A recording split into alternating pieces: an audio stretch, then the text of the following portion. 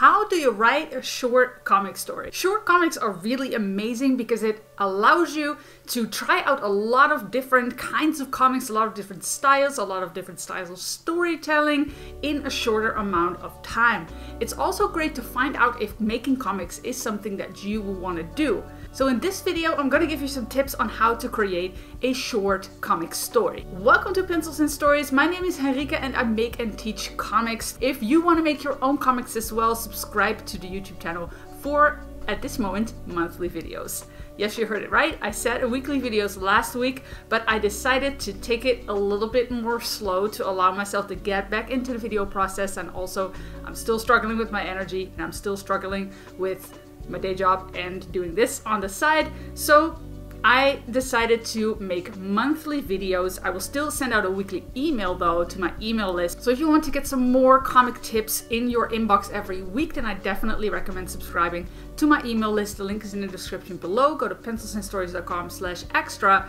But for now, the YouTube video is going to be monthly and I hope to build up a little bit of buffer so I can eventually get back to weekly videos because that is the goal. A lot of artists create these long, epic comic stories and they are amazing, but there's also a ton of artists who make short comics. Some make gag a day comics that have recurring characters, recurring events. Other artists make stories about their life or their experiences and they're like one shot comics. Other people have little tiny stories about characters that they want to tell. There's all kinds of different short comics. There's anthologies where people put in short stories. There's all kinds of different short comics out there. You might think that making a short comic story is very different from making a longer comic story. Well, yes and no. Stories are, in essence, basically the same. It's just the amount of information you put into one or the other and the tempo, the speed with which you tell the story is, of course, different. In a long comic story, you can go super deep and you can explore all the inner workings of your characters, all the intricate plot details and everything. In a short comic, you don't have the time for that. It doesn't mean that a short story cannot be deep. It definitely can. You just have to hit it a little bit sooner and you have to condense your information into a, a, few panels or even maybe one panel. But story, the essence of story is still the same. There is a character and the character has a goal. The character wants something. Um, you could also approach it from the perspective of the character having a problem that they want to solve. Often that is a goal that a character has, having a problem and wanting to solve it. And then that obstacle that stands in the way of the character and their goal, or the character and the solution to their problem, that obstacle is basically your plot. In a longer story, you have an entire second arc to make the character face all kinds of obstacles and obstacles and push through to where they eventually want to go. In a short comic, characters basically do the same, they just do it in a very short time. So there's a character who wants something. Garfield, very well-known example, very short comic. Sometimes it's a strip of three panels, sometimes it's an entire page, but Garfield is, is based on a very, very simple premise. There is a very lazy cat who loves eating, is very sarcastic, and basically comments on their owner's life, which is Jon. Jon was kind of sad. He was like the opposite of Garfield, which creates this really great tension between the two of them. Oftentimes, Garfield just wants to eat, he just wants to relax, he wants to sleep, and Jon wants to get Garfield to be a little bit more active, lose some weight, listen to him, very often the comic strips are based on something like that. It might seem in some strips that there's not actually a problem. It can be very subtle, but there often still is. And it can be very simple. Garfield just wants to continue napping, but Jon keeps bothering him.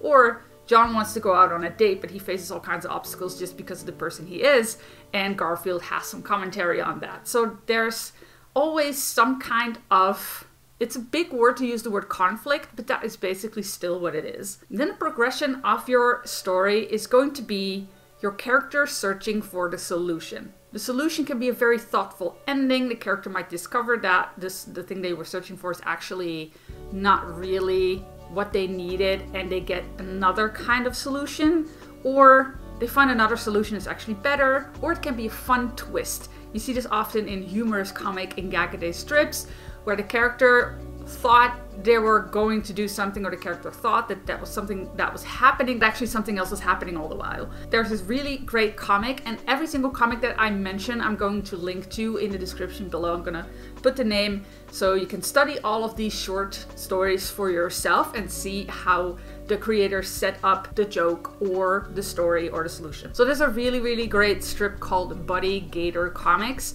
that is basically, it's a super wholesome comic strip. Uh, it's I think it's mostly popular on Instagram. It's where they post uh, the most, but they also might have a website. It's very often about animals who try to help each other out, but sometimes the creator will set it up like a character is actually looking to be threatening to another character, or it might look like one character because of having a long neck as a giraffe, or or being very slow like a sloth. They actually might have a problem, but the other animal characters always find a way to include the other characters or the character that looks like a predator actually was trying to help another character. There's always some kind of twist somewhere in this comic. So that could be a great solution to a problem that you introduce. It's often two panels, three panels maximum, I think. These comics are really great to study to see how that is handled. In some comics, there might not be a solution, or the solution is actually just the fact that you have to accept that there is not really a solution because the creator is aggravating the problem that the character has and in that sense it becomes relatable. Very good example of this is Sarah's Scribbles, well, which is created by Sarah Andersen. These are really, really great comics about everyday kind of problems. Very, very relatable, very recognizable things.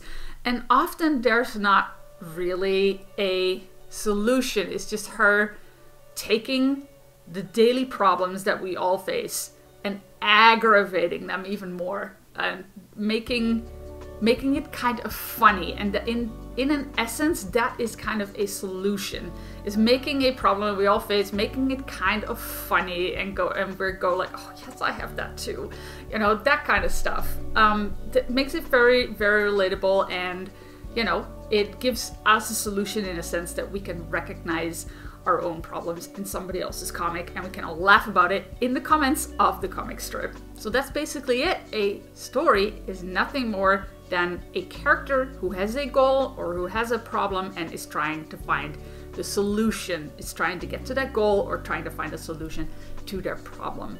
And the way that they get there, that is the story. When they get a solution or if they get the solution, is the ending. And this can be a comic strip of three panels, this can be a short story of a few pages, and this also applies to a very, very long epic story. So if you see a short comic somewhere, could be a run into a standalone comic on Twitter, look at these elements, even if it's a very simple comic about an experience that somebody has, see how they ended that, see how they start the story, how they take you through it, and how they end it. Study that stuff and you will be off to making your own short comics. So that was it for this week's video. I want to thank you so much for watching. I hope it was helpful. Please share it with people if you think it's going to be helpful for others. For now, have a great week and go and make some comics.